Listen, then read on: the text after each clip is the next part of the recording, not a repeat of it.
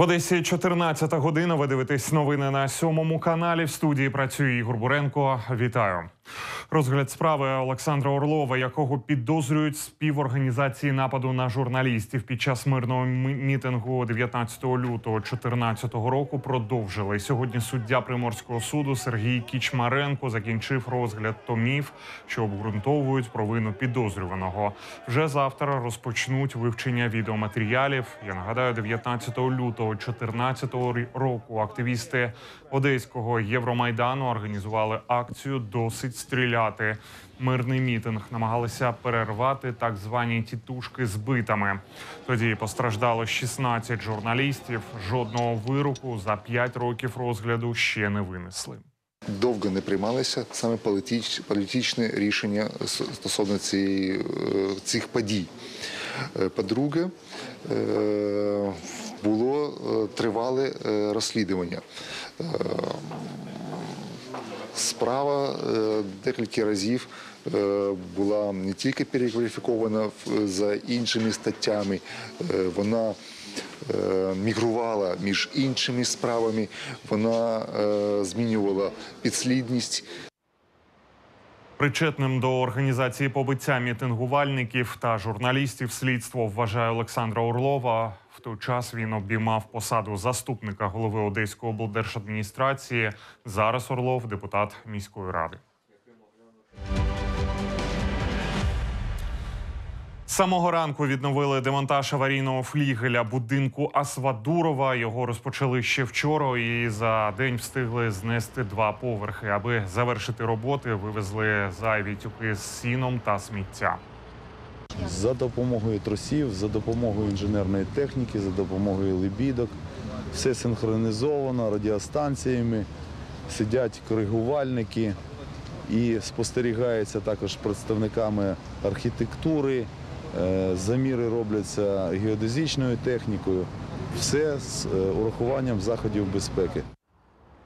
Пошуки людей тривають. Неперевіреною залишається лише одна частина будинку, де й була аварійна стіна. Туди поки що небезпечно заходити. Ну і зараз на місці прибуває моя колега Катерина Банкова. Катю, я вітаю тебе. Що зараз відбувається?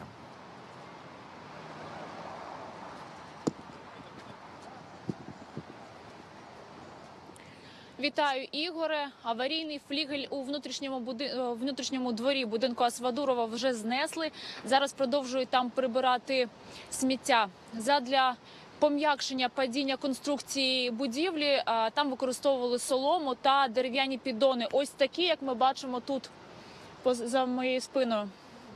А, Льоша, давай покажемо, як вони саме виглядають, як там тривають роботи. Я поки розкажу інформацію, яка сьогодні стала відомою. Сьогодні на позачерговій сесії обласної ради депутати виділили близько 2 мільйонів 800 тисяч гривень компенсації родинам загиблих та постраждалих. Також трохи більше 2 мільйонів виділить, виділить облдержадміністрація, майже 3,5 мільйони мерія та трохи більше 4 мільйонів Кабмін на ліквідацію наслідків та компенсацію. Щодо слідства, воно триває сьогодні. Буквально півгодини тому приблизно Київський районний суд Одеси виніс е, рішення щодо е, запобіжного заходу для директорки коледжу. Її відправлять на цілодобовий домашній арешт. Зараз тут на місці люди продовжують приходити, приносять квіти, лампадки, також іграшки. Всі шанують пам'ять. Дякую, у мене все студія. Дякую, Катерина. Катерина Банкова, кореспондент сьомого. Вона працює сьогодні на місці трагедії пожежі на вулиці Троїцькій. Буде інформуватиме нас про перебіг подій, що забрала життя 12 людей. Ще один лоукост рейс до Європи з Одеси почали їздити бюджетні автобуси. Сьогодні вранці на Flixbus і із зображеннями визначних пам'яток України. Туристи вирушили у перший рейс Одеса Плзень. Ціна такої подорожі до Чехії коштуватиме приблизно 800 гривень, якщо купувати квитки завчасно. Автобус прямуватиме через Умань, Тернопіль, Вінницю, Львів, а також Краків та Прагу.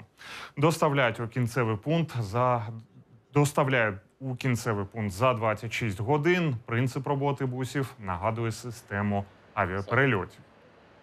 Когда есть крупные города, в которых съезжается большинство рейсов, и оттуда можно делать пересадки в другие города.